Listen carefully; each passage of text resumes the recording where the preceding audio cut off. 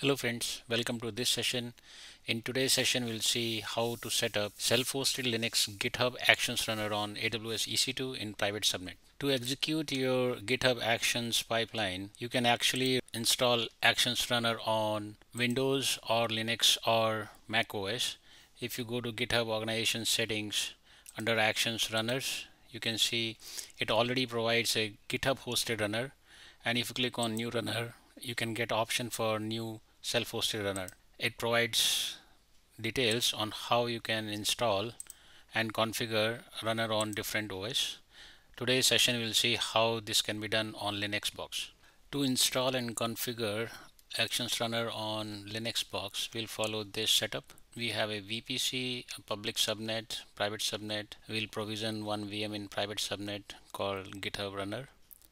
We'll download the runner and configure on this VM because this is in private subnet to get access to github it will go through net gateway so we'll provision a net gateway. Also to access github runner vm we'll provision a bastion box in public subnet which we will access through our laptop. And i'm going to connect to this bastion through putty and then i will configure everything on this linux box. So let me show you the resources which are created. Here you can see in AWS I created Bastion VM and this one is in public subnet and it has got a public IP DNS and GitHub Runner Linux. This one is only having private IP address no public DNS for it. And then in VPC under net gateways we have net gateway here made available. And in subnets I have two private subnets two public subnets and this private one and private two subnets. They have the same route table attached to it. And if we see in the route table under routes the routes are through net gateway. So there is no internet gateway.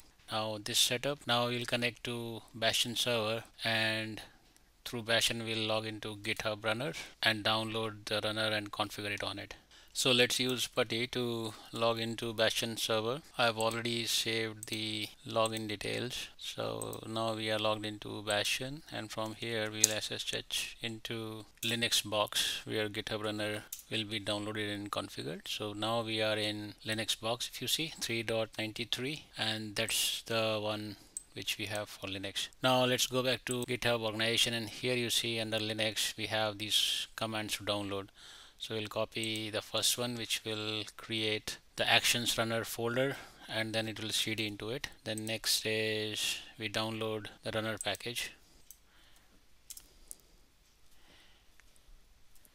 And now if you see it is downloaded. This is optional whether you want to validate the hash. I don't want to. Then we'll just extract the installer and if you see everything is extracted it created bin folder config.sh environment.sh and some other folders. So now we'll configure this runner and these are the two steps. First one is to config.sh with url to your organization github organization and it passes a token. This is the one which will be used to register your runner with github.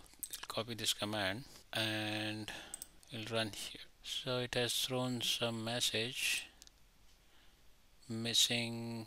Okay so whatever image I am using it is missing some .NET Core dependencies. I will quickly pause and find out the command to install this then start again. Okay so I have found the command to install this particular library which was missing. This dependency is missing in the image which I use for this Linux box. So I will just run this and hopefully once it installs then it should be able to configure. So it is installed now and now we'll run the config command again.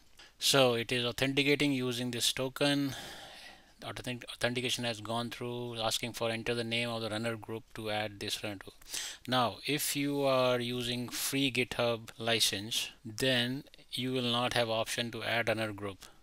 You have to press enter so that your runner goes into default group. But if you are on enterprise account then under actions you will see you will have runner groups option here where actually you can create runner group. The way I have created here a new group Linux so if I provide runner group as Linux my actions runner will configure under this particular group. And later on you will find benefits of grouping your runners. When you run your pipelines and your jobs you can actually assign your jobs to specific runners. So here I will give name as Linux.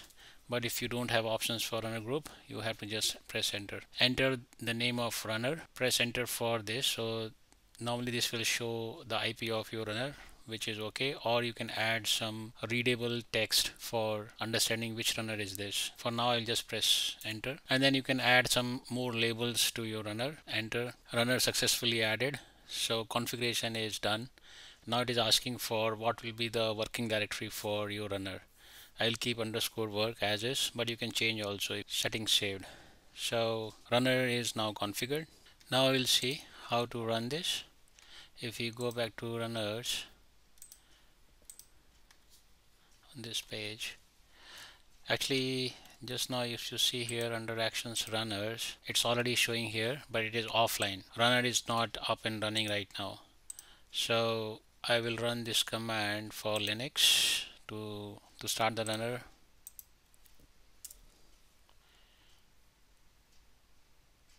Connect it to github. And now it is listening for jobs. If you go back here runners. So here if you see it's showing green and it's now listening for jobs. So that's it. This is the way we can configure our github runner on linux. I hope this helped you to understand and you can set up your own self-hosted linux github actions runner. We'll see you in next session. Thanks for watching this